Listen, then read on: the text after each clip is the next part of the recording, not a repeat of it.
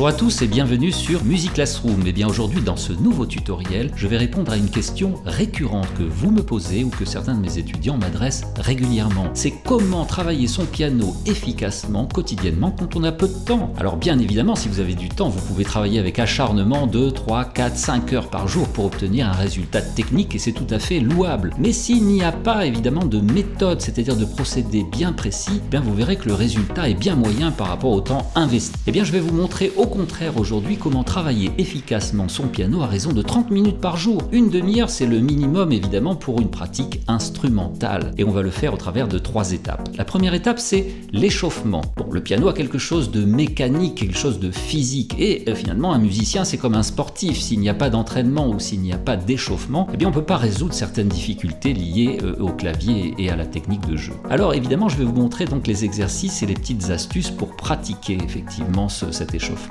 Deuxième étape, eh bien, il existe une multitude de pièces qui sont à la fois musicales et qui soulèvent à chaque fois un point, un problème de technique musicale que vous pouvez travailler chaque jour. Et la troisième étape, évidemment, c'est le but ultime, c'est comment aborder le travail d'une pièce musicale. Et je vous montrerai à cet effet les erreurs à ne pas commettre, celles que font la plupart donc des débutants. Voilà, si vous suivez ces conseils, vous devriez donc voir très rapidement des résultats radicaux donc dans les mois dans les semaines, voire dans les jours qui suivent. Donc si vous êtes d'accord, nous y allons tout de suite. Alors pour élaborer ce tutoriel, nous allons nous placer donc dans des conditions normales de travail d'une demi-heure donc de piano par jour. Et nous commençons par la première étape qui va consister à chauffer vos mains, chauffer vos doigts. Et ceci est essentiel si vous voulez aborder évidemment les problèmes de la troisième étape que nous verrons tout à l'heure pour justement jouer et passer les difficultés techniques d'un morceau. Alors cette première étape, on va consacrer donc 10 minutes, c'est-à-dire un tiers de notre temps à chauffer. Et quoi de mieux pour chauffer que d'utiliser et de travailler les traditionnelles gammes et arpèges classiques, puisque celles-ci vont nous proposer deux avantages non négligeables qui sont d'abord de chauffer, puisque l'effort effectivement demandé pour euh, exécuter les gammes et les arpèges sur plusieurs octaves aller-retour, donc va chauffer nos mains et nos doigts. Et le deuxième avantage, c'est qu'en même temps, vous allez travailler votre technique, puisqu'on le sait, donc les gammes et arpèges donc nécessitent un travail de la technique au niveau des passages des doigts, notamment du pouce par-dessous, et donc des autres doigts second, troisième, quatrième par-dessus, euh, suivant le cas. Alors, le problème, c'est comment travailler ces arpèges. Je vais vous donner maintenant l'astuce, c'est-à-dire la façon, la méthode pour travailler ces arpèges. Tout d'abord, nous allons prendre les touches blanches du piano, c'est-à-dire on va considérer que nous sommes en Do majeur, ça va simplifier l'exemple, mais il faudra savoir que par la suite, l'exercice que je vais vous donner en Do majeur, vous devrez le transposer évidemment dans les 12 autres tonalités et même dans les 24 autres, puisque comme vous le savez, il existe 12 tonalités majeures, mais également 12 tonalités relatives mineures. Alors comment est-ce qu'on va travailler cet exercice de gamme pour commencer? Eh bien, on va les travailler les mains ensemble. Alors si vous êtes débutant et que vous ne pouvez pas les mettre les mains ensemble tout de suite, donc ça n'est pas très grave, vous allez travailler donc les mains séparées cet exercice. Mais pour l'exemple de ce tuto, nous mettrons les mains ensemble et on va jouer ces mains ensemble donc sur la base d'un métronome, un métronome de noir égale 60. il est essentiel effectivement de travailler donc ces exercices avec un métronome, c'est-à-dire pour avancer et de garder un tempo. Alors nous donnerons toujours quatre pulsations hein, avant de commencer donc ce métronome. Alors ce qu'on va faire déjà avec ce métronome, c'est jouer déjà la gamme de Do majeur, aller et retour sur une octave et à la noire, c'est-à-dire que chaque note de ma gamme ici va correspondre à une pulsation du métronome. Donc on donne 4 pulsations avant de partir et ça donne ceci.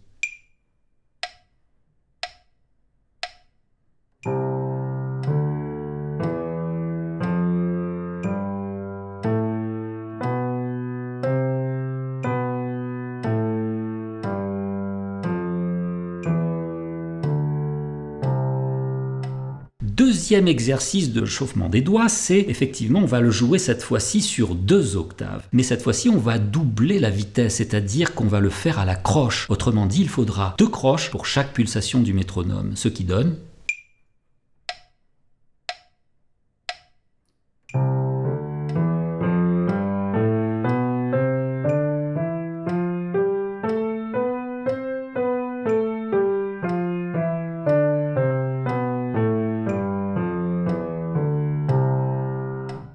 Maintenant, troisième exercice, on va travailler sur trois octaves, mais cette fois-ci au triolet, c'est-à-dire qu'il faudra trois croches régulières en triolet pour chaque battement du métronome.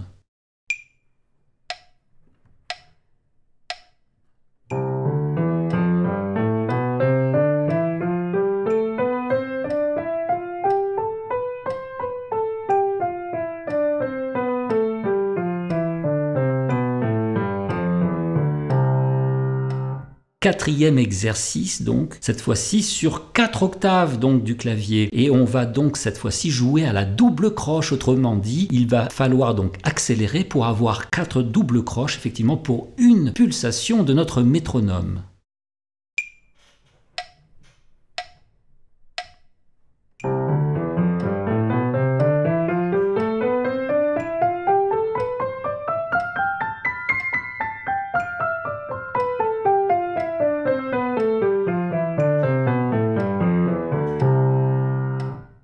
Et eh bien on va en faire de même avec l'arpège de Do majeur. Vous savez, l'arpège Do, Mi, Sol, Do, hein, simplement. Eh bien on va commencer à deux mains, donc sur une octave à la noire, c'est-à-dire que chaque note effectivement que je vais jouer correspond à une pulsation du métronome.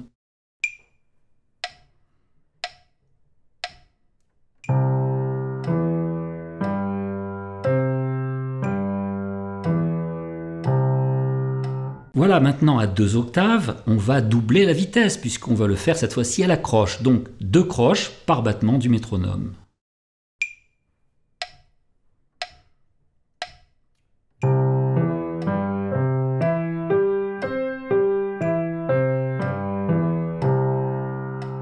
Ensuite sur trois octaves, cette fois-ci au triolet, donc trois croches en triolet par battement du métronome.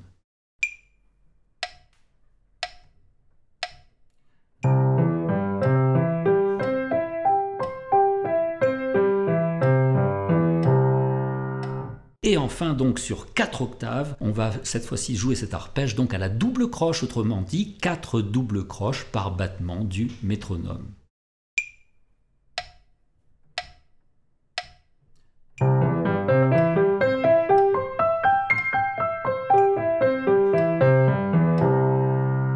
Voilà, donc nous consacrons à cette première étape 10 minutes pour chauffer vos doigts et en même temps travailler votre technique. Alors avant de passer à notre deuxième étape, j'aimerais faire deux remarques donc très importantes au niveau de ces exercices donc d'échauffement. La première remarque, c'est que vous pouvez faire ainsi une tonalité par jour. Aujourd'hui, par exemple, nous avons fait Do majeur. Eh bien, le lendemain, vous allez suivre le cycle des quintes et faire par exemple Sol majeur. Alors ce cycle des quintes, hein, des tonalités, je vais vous le donner, c'est Do, Sol, Ré, La, Mi, Si, Fa dièse, Do dièse, sans oublier donc les gammes majeures en bémol, c'est-à-dire Fa majeur, Si bémol, Mi bémol et La bémol majeur. Vous aurez fait donc le tour des 12 tonalités majeures. Mais n'oubliez pas aussi de faire les gammes mineures, c'est-à-dire les relatives mineures de ces tonalités majeures. Elles sont également au nombre de 12. Alors vous trouverez beaucoup de manuels, hein, de partitions qui vous donneront effectivement toutes les gammes majeures et mineures, comme Anon par exemple, avec les doigtés correspondants. Lorsque vous avez fait le tour de toutes ces tonalités majeures et mineures, c'est-à-dire une par jour, eh bien vous pourrez par exemple augmenter un peu le tempo du métronome. Nous étions jusqu'ici à noir égale 60, et bien par exemple vous pouvez l'augmenter dans les prochaines séances, donc à 70, noir égale 70, et ainsi de suite, pour augmenter votre capacité technique et votre dextérité. Hein. La deuxième remarque importante, c'est que lorsque vous faites un exercice tel que celui-ci, c'est-à-dire les gammes et arpèges par exemple, jouez toujours avec une grande musicalité. Ne faites pas un exercice pour faire un exercice, mais profitez-en pour par exemple avoir un très beau lié dans vos gammes et arpèges. Ceci va vous former effectivement à l'habitude de jouer, de doser, euh, d'avoir un très beau jeu. Et puis effectivement, il faut savoir aussi que la régularité rythmique, c'est-à-dire du métronome, n'est pas la seule. Il y a aussi la régularité de toucher. C'est-à-dire si vous mettez effectivement le même poids sur chaque touche que vous jouez, sur chaque note de ces gammes et arpèges, à ce moment-là, vous aurez une véritable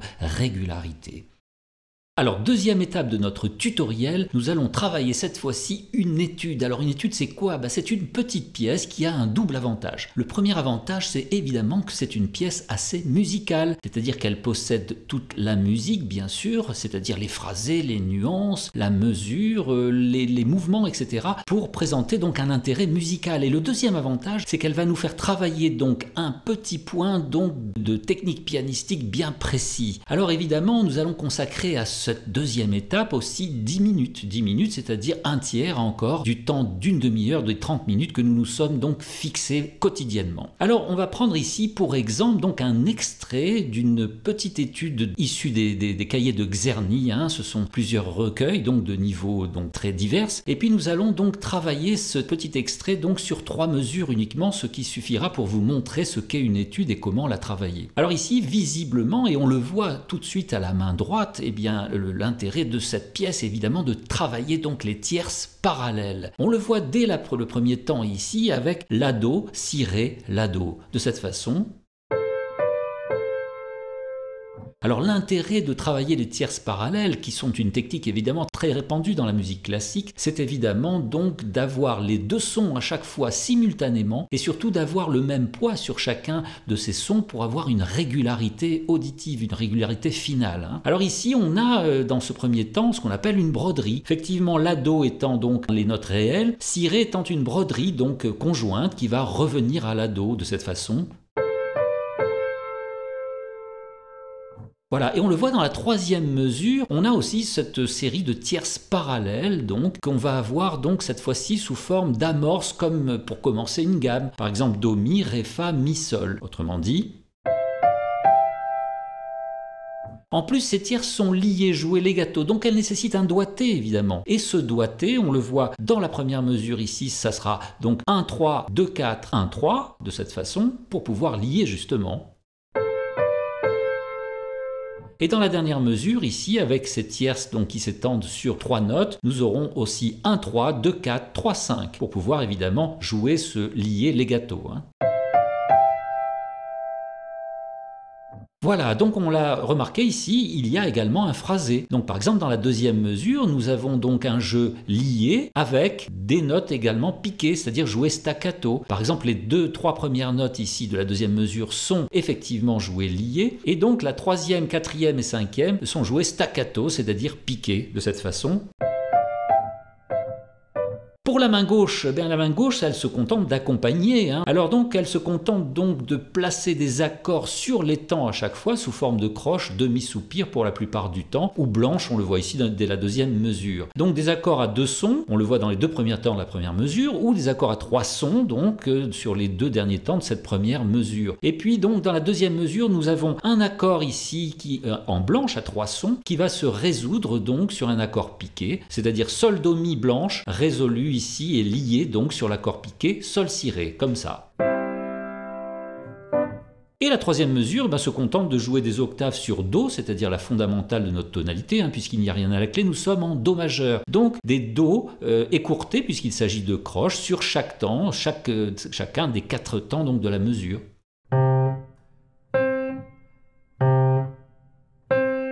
Quel est le mouvement? Eh bien, Le mouvement est allegretto. Allegretto, on pourrait dire à peu près à 100 à la noire. Hein. C'est une vitesse, un tempo donc général approximatif. Voilà, on va jouer maintenant donc les mains séparées pour la travailler. Et on va commencer bien sûr par la difficulté, c'est-à-dire les tierces parallèles. Et donc on va jouer cette main droite au tempo.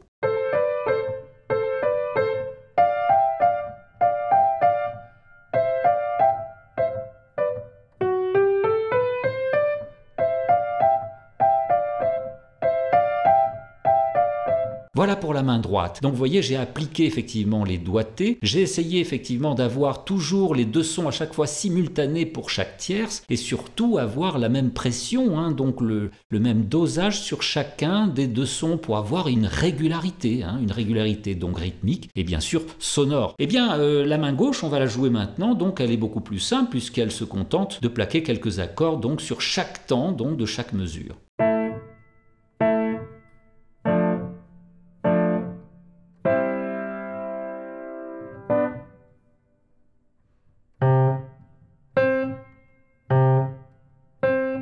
Donc à présent, maintenant, on va essayer de jouer les mains ensemble, puisqu'on a travaillé les mains séparées. On a travaillé donc la principale difficulté, qui était ici l'étude des tierces successives, des tierces parallèles, donc à la main droite. Hein.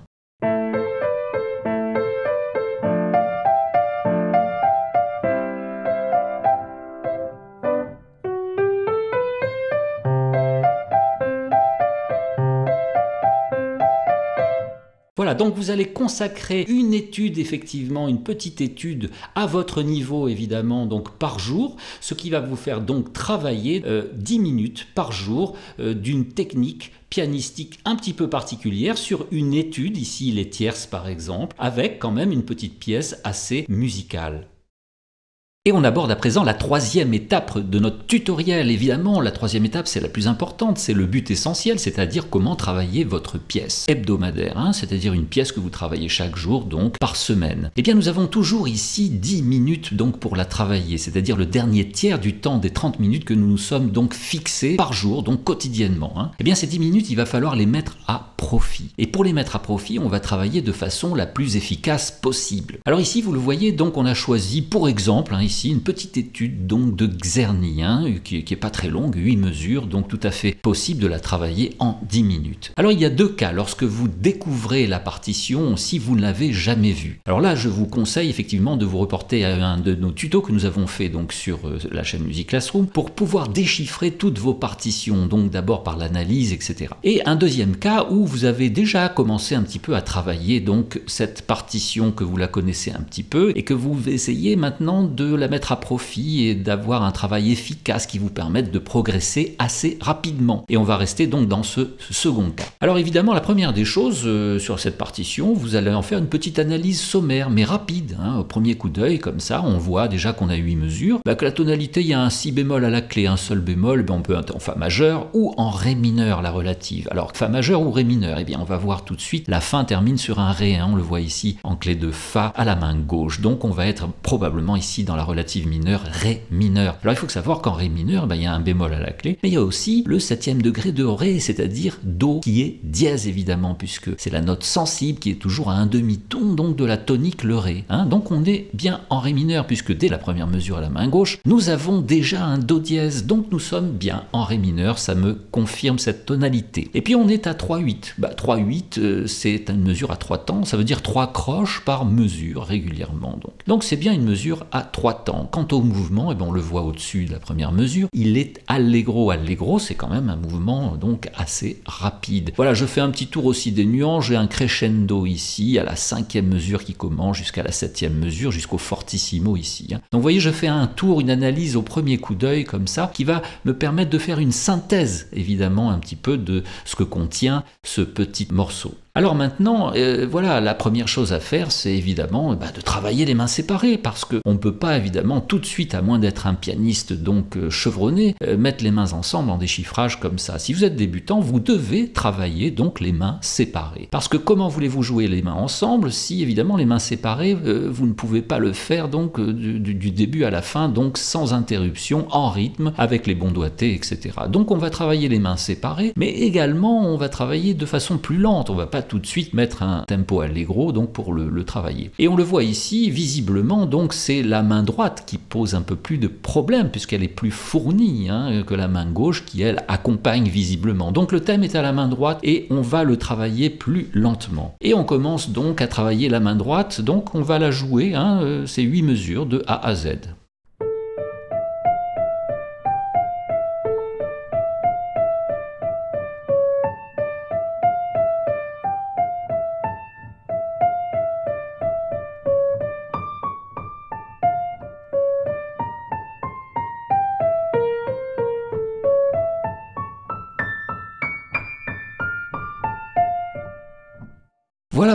droite. Eh bien, euh, évidemment, j'ai vu effectivement qu'il y avait déjà une petite difficulté en le jouant. C'est la mesure 5 et particulièrement la mesure 6 ici, qui pose un petit problème parce que là, effectivement, le, motif change. Hein. On a un motif de d'arpège cette fois-ci, un arpège brisé, qui peut poser des problèmes, notamment au niveau des doigtés, parce qu'il va sans dire qu'évidemment, si vous voulez jouer le petit morceau ici, les mains séparées, il faut déjà mettre les bons doigtés. Donc, on fera attention à cette mesure 6 hein, euh, lorsque on travaillera les mains ensemble Alors voilà, donc maintenant on va s'occuper de la main gauche. Possède à chaque fois un rythme noir, croche. Vous voyez le lié, donc la noire est liée à la croche, donc avec des accords à deux sons comme ça, mais la croche est piquée un petit peu euh, à chaque fois. Hein. donc, et puis euh, dans le deuxième système, le deuxième système ici, on a des accords qui sont eux tenus en noir pointé, c'est-à-dire qui font toute la mesure, hein. donc ça pose beaucoup moins de problèmes. Alors on va jouer cette main gauche.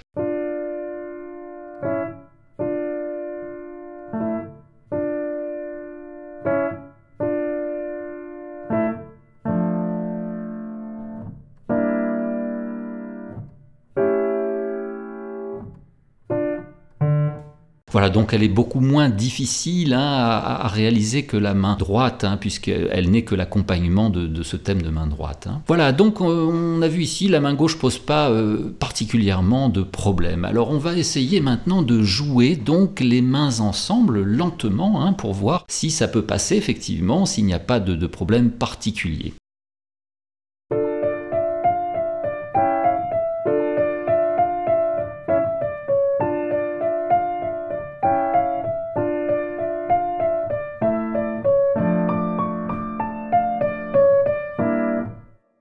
Voilà, là il y a eu un problème effectivement, et ça je l'avais donc soupçonné effectivement sur la mesure 6. Hein. Entre l'enchaînement effectivement de la mesure 5 et 6, il y a vraiment un souci. Alors au lieu de rejouer la pièce du début, qui serait une erreur évidemment, eh bien je vais m'attacher à travailler effectivement cette mesure 6, mais pas seulement la mesure, mais surtout l'enchaînement de la mesure 5, 6 et 7, parce qu'évidemment c'est l'enchaînement qui peut poser également des problèmes. Alors je vais commencer à travailler simplement en boucle la mesure 5, 6, 7 de la main droite uniquement. Et on va faire comme ça.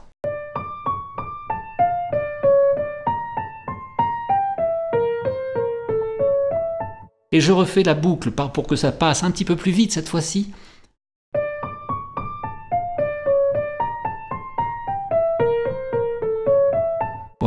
Donc là, j'ai travaillé en boucle. Il faut les travailler autant de fois qu'il est possible pour obtenir effectivement un résultat parfait, lié et sans interruption. Eh bien, la main gauche, elle ne pose pas de problème, on le voit ici.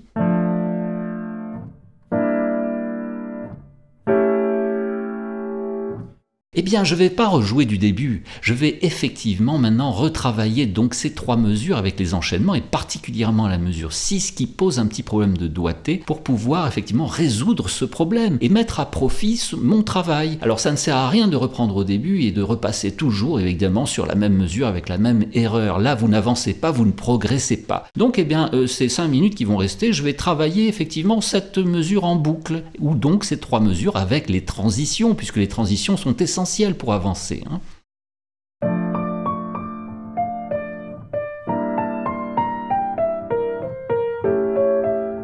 Voilà, il y a eu encore des petites erreurs, vous avez vu, donc je vais encore le retravailler une fois.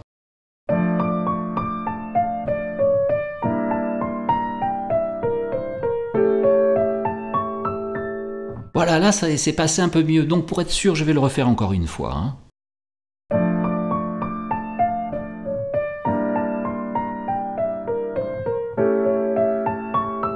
Voilà, cette fois-ci, j'ai réussi effectivement à enchaîner donc ces trois mesures et particulièrement les doigtés de la mesure 6 correctement pour pouvoir effectivement maintenant jouer les mains ensemble puisque j'ai résolu un problème. Normalement, ça devrait passer. Si c'est nécessaire, continuez à travailler cette mesure 6 avec ces transitions qui précèdent et qui suivent donc en boucle. Alors à présent, donc on va jouer cette petite pièce, donc les mains ensemble, mais avec un tempo un peu plus modéré que l'allegro qui est demandé donc initialement. Pourquoi? Simplement pour être sûr que je puisse la jouer donc de A à Z, c'est-à-dire de la mesure 1 à la mesure 8 ici, sans erreur, avec un tempo régulier, bien sûr, avec le doigté. Hein.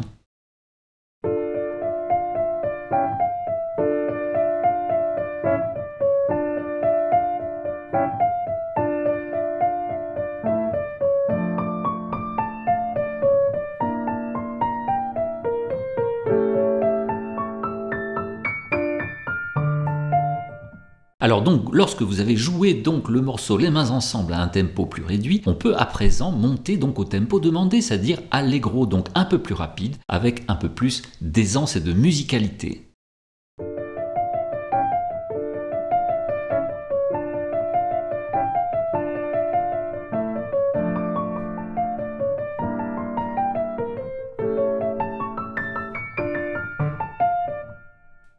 Voilà, si vous suivez à la lettre la méthode et les conseils que je viens vous, vous donner dans ce tutoriel, vous allez changer radicalement votre façon de travailler et concentrer en un temps très réduit, donc une façon efficace donc de travailler et d'obtenir des résultats dans les jours, les semaines ou les mois qui suivent. Cette méthode est classique, mais elle a fait ses preuves et croyez-moi, elle est très efficace. Vous avez des suggestions, des questions, n'hésitez pas à les poster dans les commentaires de la vidéo, je participerai au débat avec plaisir. Si vous recherchez des méthodes hein, de piano débutant ou de théorie musicale, donc avec toutes ces bases. Vous trouverez donc les liens dans la description de la vidéo. Voilà, si vous aimez nos tutoriels et notre chaîne, n'hésitez pas à nous soutenir, mettez-nous un petit pouce et surtout abonnez-vous en activant la petite cloche hein, pour être notifié de toutes les nouveautés donc de tutoriels hebdomadaires. Voilà, quant à moi, je vous remercie beaucoup de votre écoute et de votre présence et je vous dis à très vite. Salut